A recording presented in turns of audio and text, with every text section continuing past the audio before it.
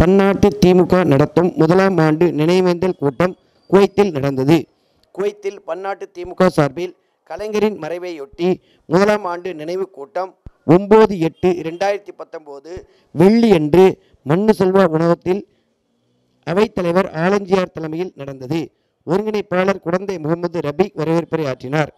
அமைப்புச் செயலாளர் பஷீர் அகமது இணைச் செயலாளர் பாப்பா தியாகராஜன் செயற்குழு உறுப்பினர் காசி ராமலிங்கம் முனியாண்டி மாணிக்கம் பொருளாளர் ஜலீல் முஸ்தபா தந்தை பெரியார் நூலகம் செல்ல பெருமாள் ஆகியோர் முன்னிலை வைத்தனர்.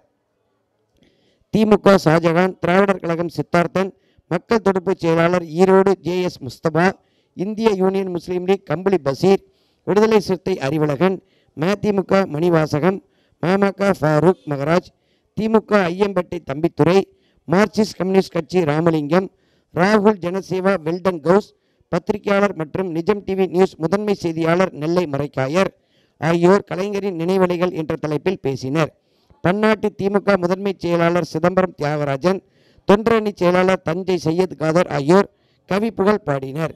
திரைப்பட பாடலாசிரியர் இந்துமதி பக்ரிசாமி மற்றும் அல் அவ்தா சாதிக் ஆகியோர் புகழஞ்சலி செய்தனர்.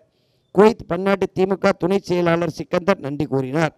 நிஜம் டிவி செய்திக்காக குவைத்திலிருந்து நமது செய்தியாளர் இதாயத்துல்லா நெல்லை மரைக்காயர் மற்றும் அப்துல் மஜீத்.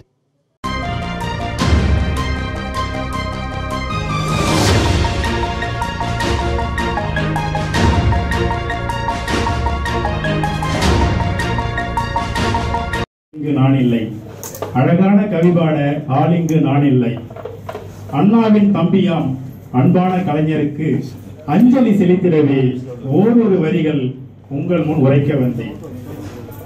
அண்ணாவின் தம்பியாம் அன்பான கலைஞருக்கு அஞ்சலி செலுத்திடவே ஓரிரு வரிகள் உங்கள் முன் உரைக்க வந்தேன். தட்சிணாமூர்த்தியாய் தரணியில் பிறந்தாய். தட்சிணாமூர்த்தியாய் தரணியில் பிறந்தாய்.